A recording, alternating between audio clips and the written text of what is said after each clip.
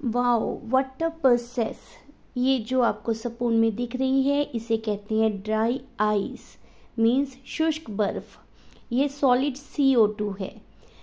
Solid C O two को जब आप गैस में कन्वर्ट करते हैं तो उस प्रोसेस को कहते हैं उर्धपातन वाई बिकॉज़ इसमें द्रव अवस्था नहीं होती, ये सीधा ठोस से गैस अवस्था में परिवर्तित होता है।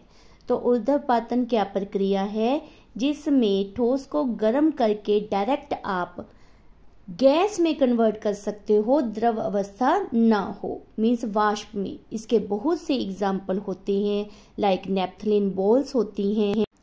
वही वाइट सी गोलियाँ जिनको आप सर्दियों में कपड़ों में रखते हैं, गर्मियों में जब कपड़े निकालते हैं तो वो गोलियाँ ख़त्म हो जाती हैं। वाई बिकॉज़ वो ठोस से सीधा गैस में कन्वर्ट हो गई। कपूर होता है जिसको आप पूजा सामग्री में यूज़ करते हैं। Bye bye.